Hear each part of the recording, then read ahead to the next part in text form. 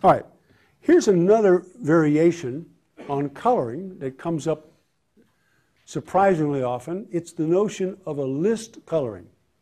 When you're trying to color a planar graph with four colors, on each vertex you have to choose one of the colors one, two, three, four. But in a list coloring, you put on every vertex a list. The list that you put on one vertex does not have to be the same as the list you put on another vertex. And then the person coloring must produce a proper coloring, but the color assigned to a vertex can only come from the list. Let's take an example of this because I want you to work with me on the example in the middle where I point out that the complete bipartite graph, so if I take the complete bipartite graph and put in all the edges, nothing's left out. What is the chromatic number of that graph? Two.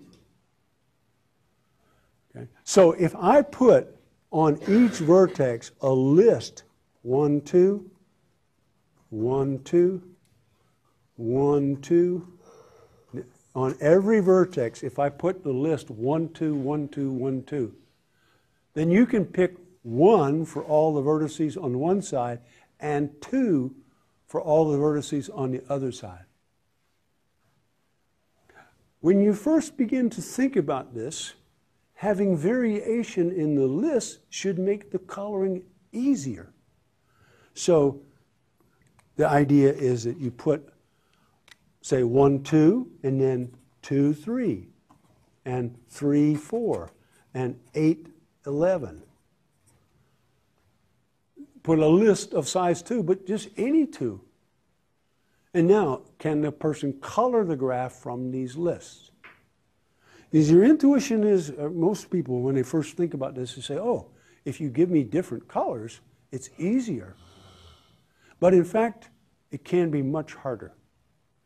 And if you take n to be the binomial coefficient 2t minus 1, choose t. Then the list coloring can't be done with list of size t. So it's greater than or equal to t plus 1. And let's explain this. Let's explain this. So I'm going to take the complete bipartite graph k n n. But n the number of vertices on each side is going to be the binomial coefficient c 2t minus 1 choose t. Now, I claim you cannot color that from lists if on every vertex you put one of the subsets of size t.